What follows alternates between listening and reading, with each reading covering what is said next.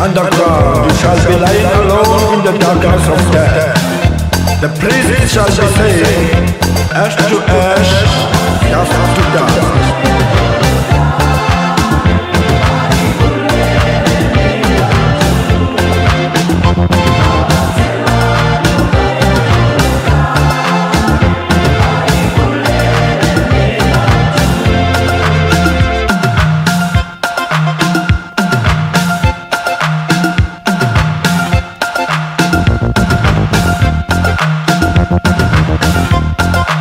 In these days of confusion, we must try to find the root of our problems so that we could solve them.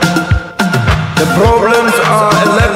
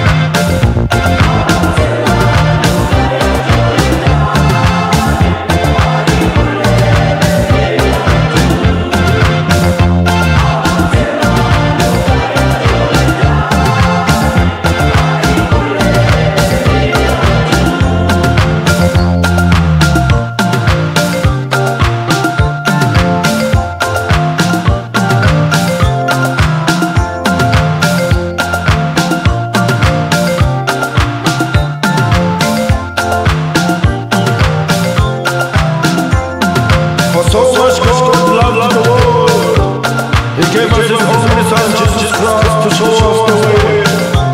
So we crucified Him,